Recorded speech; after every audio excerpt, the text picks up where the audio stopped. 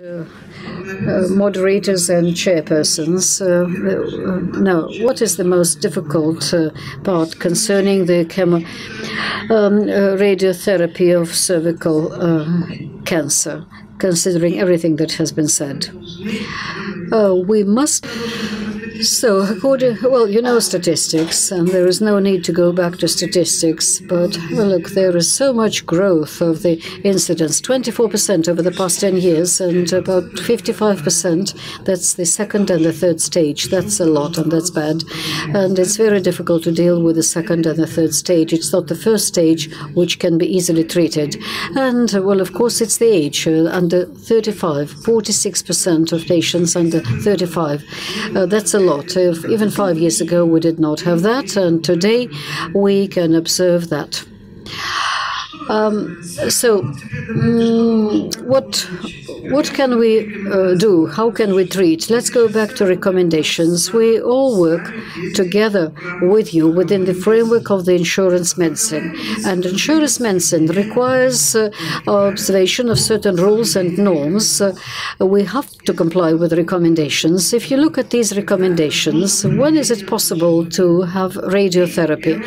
Uh, uh, one A uh, uh, stage just with Rosca.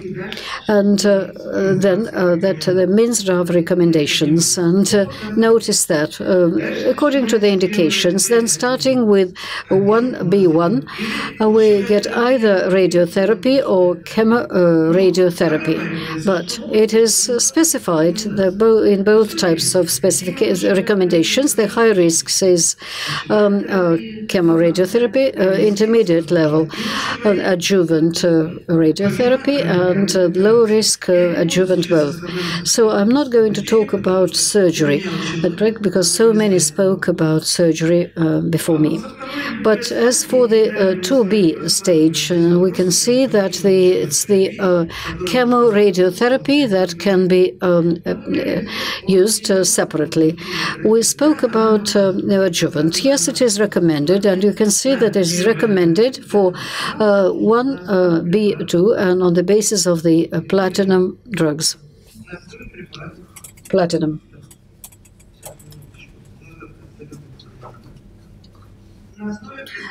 So, um, with further extirpation of uterus uh, of the third type, so neoadjuvant uh, therapy, chemotherapy, uh, has a place in life, but practically nothing, nothing is written about uh, uh, adjuvant chemotherapy.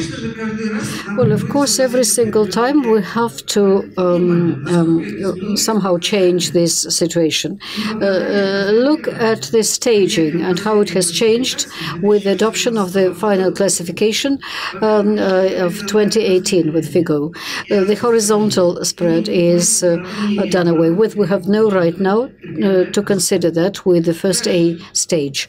Now, Secondly, the first B stage is divided into three sub-stages, and uh, this needs to be considered. And the third C stage today should be mm, um, mm, clearly indicated how this diagnosis had been reached. If there are uh, lympho nodes on the basis of clinical visual, visual, visualization or histological materials. So this is a new type of staging, and this will definitely make make us change our attitude uh, to the um, uh, methods of treatment of uh, cervical cancer, considering the spread and the degree of spread. And the work group will definitely um, keep working on that and will come up with the new recommendations by 2020. All these recommendations are expected to change once in three years. Now, as for the treatment and chemotherapy, and how do we apply that? As for neoadjuvant uh, therapy. Quite a lot has been said. It works effectively. Uh, two, uh, well, one and two courses, and it definitely provides very good results.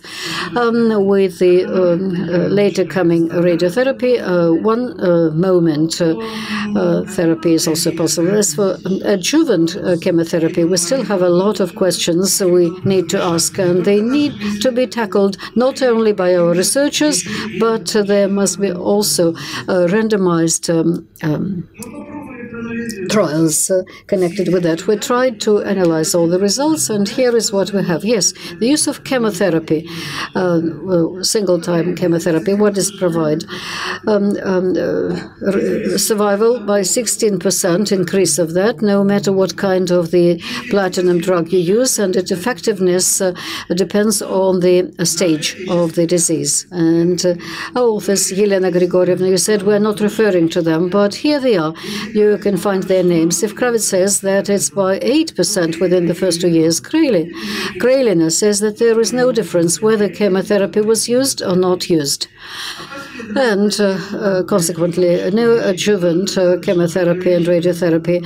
Now, there are again quite contradictory data. If neoadjuvant um, um, chemotherapy with radiotherapy provides an increase of survival rate by 7%, according to some authors, then others say that it's necessary to consider the size of the tumor and the um, lymph nodes metastasis and the volume should be 30 percent of what uh, is operable. And if chemotherapy is used in the neoadjuvant um, uh, uh course, then in 2007 uh, it was demonstrated that there are practical difference. In 2015, uh, we were able to get the other results concerning the survival by 15%, and that's um, in the work of a certain author.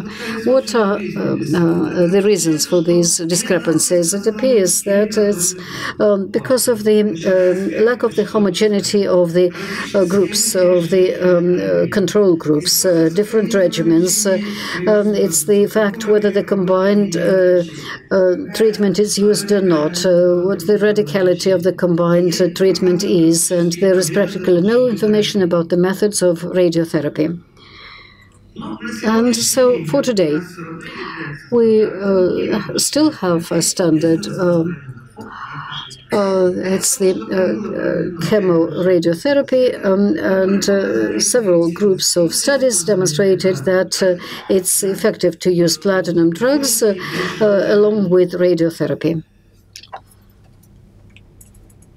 And uh, before we uh, decide on uh, the treatment, whether it is neoadjuvant chemotherapy, um, single time um, chemotherapy, or uh, adjuvant uh, chemotherapy, we must consider this particular model of four factors, which makes it possible for, for us to consider the uh, size of the, the histological forms and the invasion. And all this should be in the basis of what we do.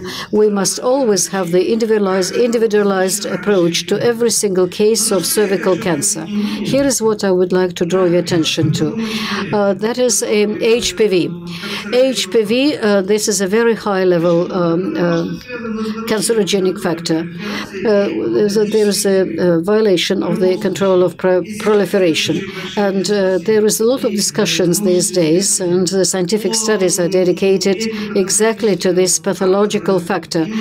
And the uh, virus um, has a very significant role in the development of cervical cancer. As for the uh, principles of radiotherapy in adjuvant uh, mode uh, or independently or together with uh, mm, uh chemoradial therapy, so we must always individualize uh, the doses, the carefully planning them using the traditional and non-traditional methods of radiation and considering, of course, the anatomic and topographic um, characteristics characteristics of the tumor and other organs, but the doses should be no less than 80 gray. Some uh, these summed up doses with a small tumor, these doses can be up to 90 gray. Why is that so? Because practically in all the centers these days there are devices with the um, uh, for the uh, radiotherapy, the state-of-the-art apparatus. But as for the time over, um, the, so with time, with prolonged time, the effect decreases. Well, we can expand that. One of the slides, there was a bottle demonstrated uh, when the, uh, the uh, uh, uh radiation was um, uh, switched on. But the doses in this case on the on the lymph nodes should not be above five um, gray, and we should also not forget about the protection of the bone marrow. According to the clinical guidelines of the Ministry of Health that we need to adhere to, uh, planning must be uh, conducted on the basis of uh, MRT.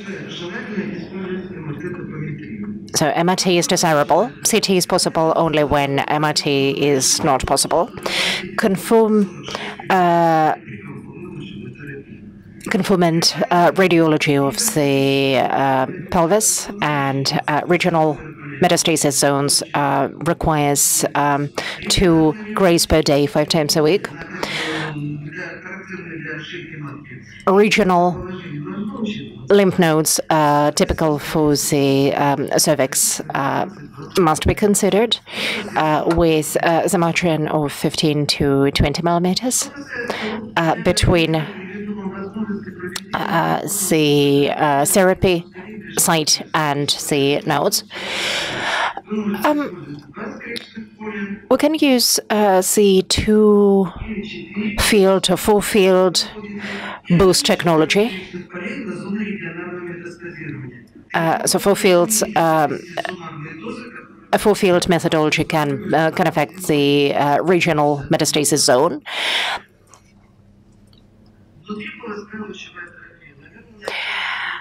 Internal radiotherapy is probably by far the most complex method. 2D uh, images is uh, this is a 2D image, point A, uh, the intersection of the ureter and the um, uterine uh, uterine artery. So these uh, points um, are registered in the guidelines. Uh, however, if you're using 3D planning, you need to consider the uh, clinical size of the target, uh, target, the clinical volume of the tumor, the risk zone, and the metastasis area. Metastasis area. Um, and don't forget about um, five millimeter margins uh, towards the bladder and uh, 10 uh, millimeters towards the uterus, uh, 20 millimeters towards the perimetrium. And you end up in a fantastic zone that covers all the necessary uh, points for radiation therapy.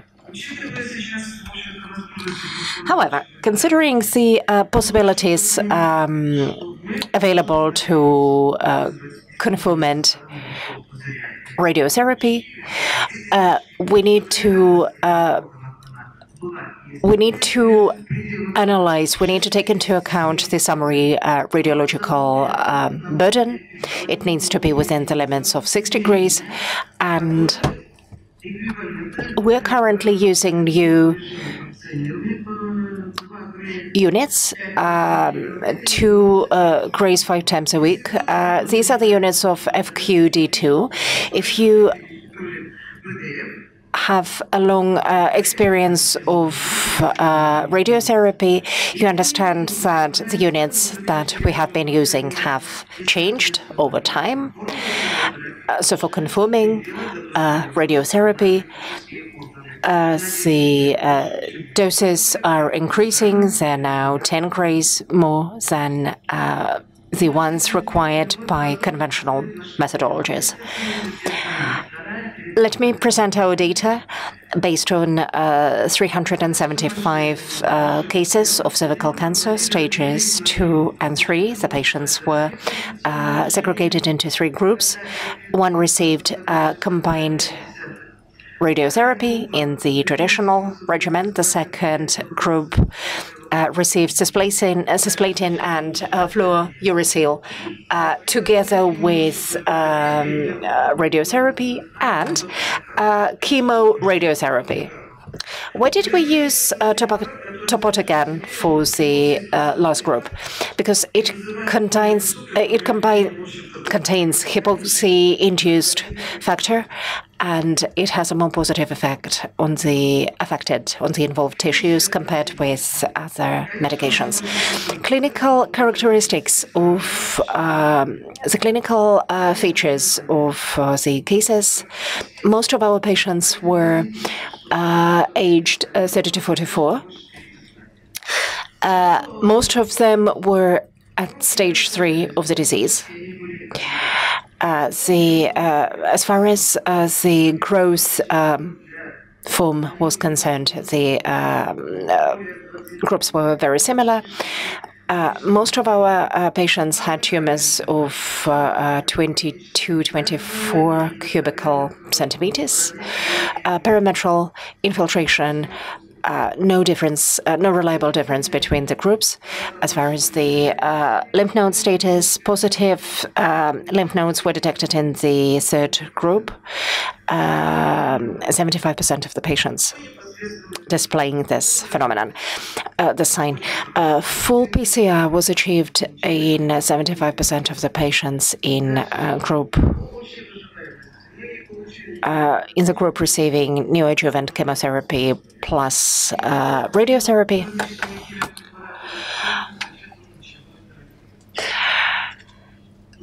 However,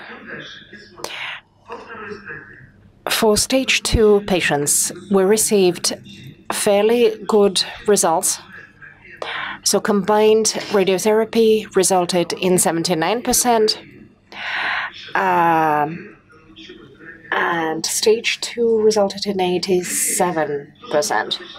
Stage three, also good results, 66. However, these differences are statistically not reliable, not significant. But they're high, nevertheless. So it is possible to use neoadjuvant and uh, chemo uh, radiotherapy, which yields fairly good effects of treatment. Uh, Identified and mixed forms.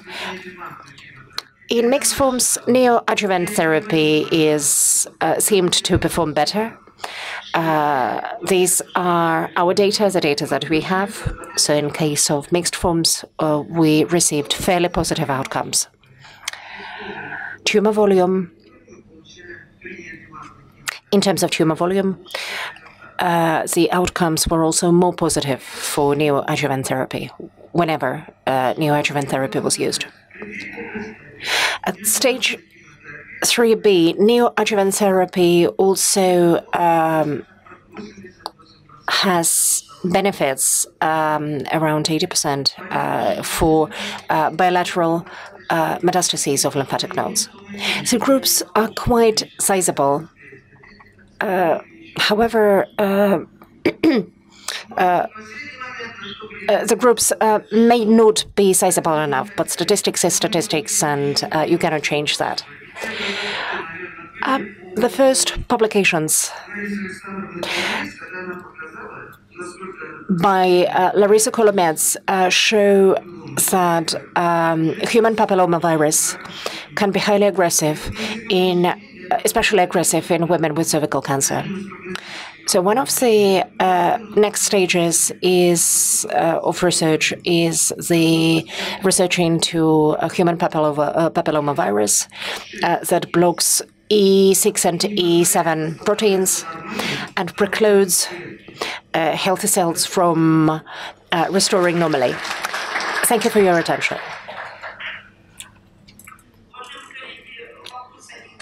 Dear colleagues, one or two questions uh, to ask Lyudmila. Lyudmila, I've got one.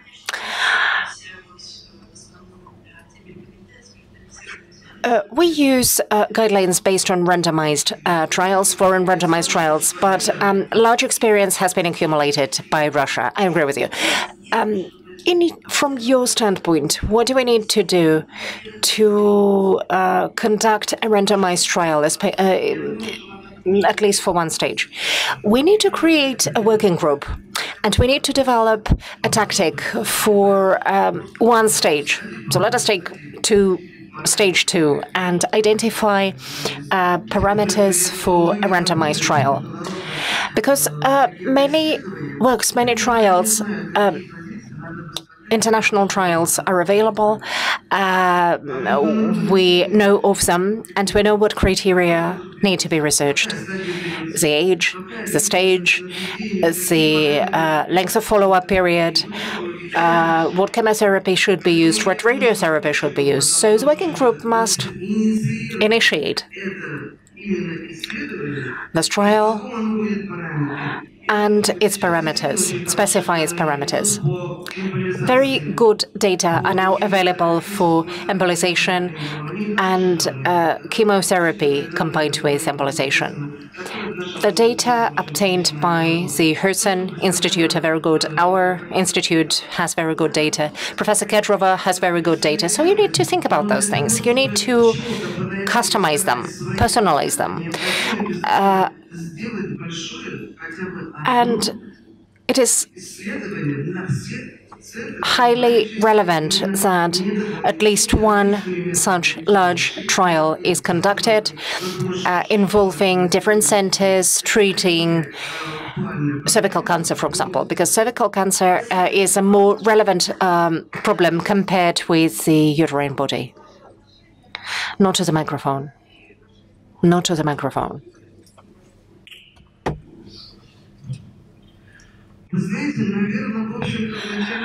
I think that at the first stages, proton therapy uh, will be good because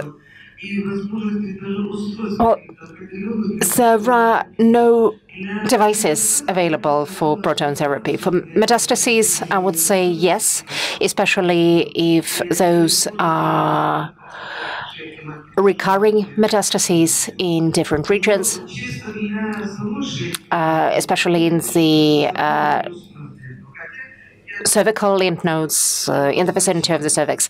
Um, I read one article by Korean, no Chinese researchers who tried to do uh, something uh, proton therapy wise uh, for cancer patients. Uh, I did register that the article was there, but uh, I don't remember what it was about.